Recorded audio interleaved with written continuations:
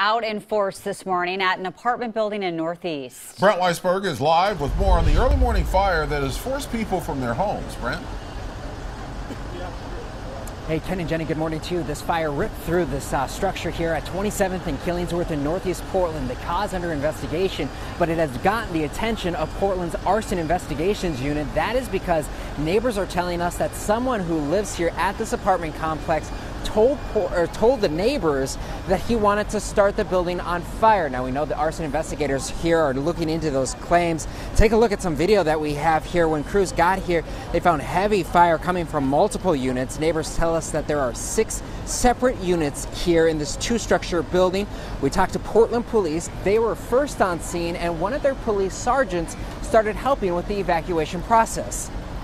Not a lot I can do about the fire, so I just went around and started banging on doors. Uh, just about everybody was out already or in the process of getting out, so the neighbors had done a great job of getting the folks out.